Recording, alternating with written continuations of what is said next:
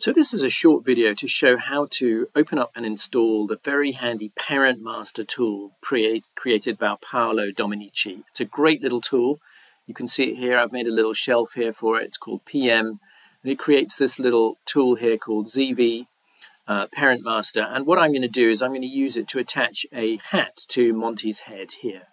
So I'll just go ahead and show you uh, where to begin. And as usual, we'll start at the animation blog. So here we are at the Animation Apprentice blog. So um, if I just scroll over here to the search bar and I just search for Parent Master, it will pull up a blog post that I did some years ago about how to use the Parent Master plugin. So I'm just going to pull that up now.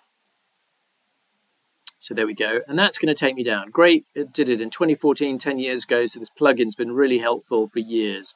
Now, the problem you're going to find is that um, if you have an older version of the parent master, it won't work because since 2023, um, uh, the Python tool has been, Python's been updated to PY3.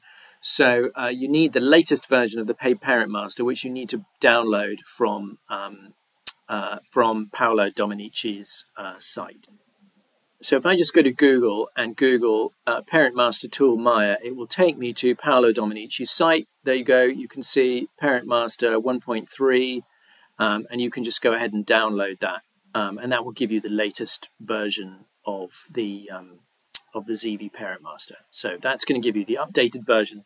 And what you want to do is you want to drop that in your scripts folder. So I'm just going to show you where I've put that in uh, in Maya. So I'm working on a PC right now. I also work on a Mac. It's a little bit different from a Mac, but for a PC, you're going to go to Documents, Maya, Projects, sorry, Scripts, and you want the Parent Master folder to be in your Scripts folder. Now, when you download it, it's going to say ZV Parent Master 134. Um, and but inside that is ZV Parent Master, and and that's the one you want to drop in the scripts folder. Because if you just drop ZV Parent Master 134 in scripts folder, it won't find it. So you've got to find the ZV Parent Master folder that is inside ZV Parent Master 134. Now I've dropped it both in my scripts folder and also because I'm running Maya 2022 here in my scripts folder in Maya 2022. Um, so I've got it in both places. That's a kind of belt and braces approach. I'm not sure which is correct. I've popped it in both places and it is working for me right now. So once you've done that, you should be able to go into your um, script editor and in the Python tab, you should be able to, to drop in this little piece of code.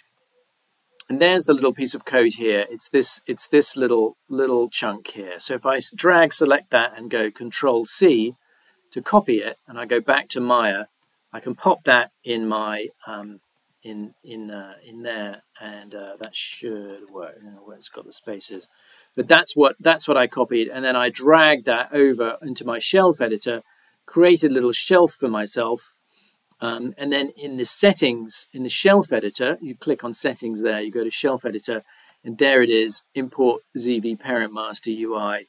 And under icon label, I've just labeled that PM for parent master. And then I click on save our shelves, and then I've got a little button there. You can see it's got the little Python uh, icon there. I know it doesn't look like a Python, but that is a little snake. Um, as a as a, compared to a Mel um, icon, which is a, an M shape.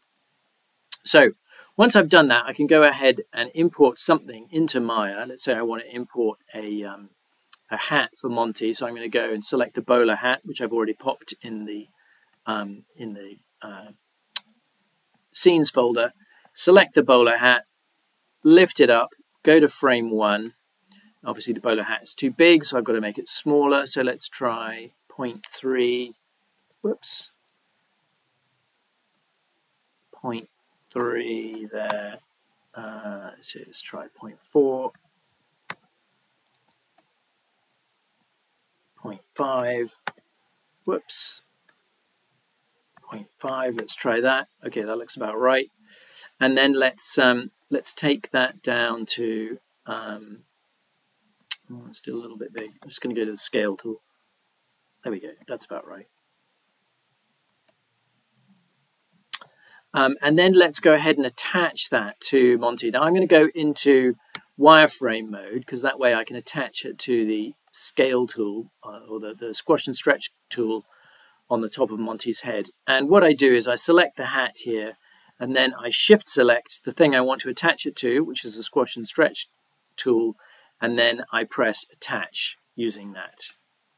And now if I go back to 5, I press 5 on my uh, keyboard for wireframe, uh, uh, not wireframe, um, for um, texture mode and press play, I should now have the um, hat attached to Monty. Now the advantage of this is that if I go back to the parent master, I can then unattach it as well. You can see there's this little attach button up here and then unattach it underneath.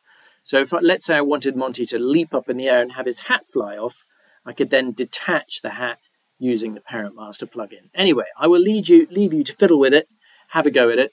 Um, it's a really, really super useful tool for attaching and unattaching things in Maya. It is a little bit fiddly to install, but it can be done. It definitely works in on my PC at the moment. Uh, I might do a separate video to show how to install it on a Mac because it is a little bit different on a Mac, slightly more fiddly.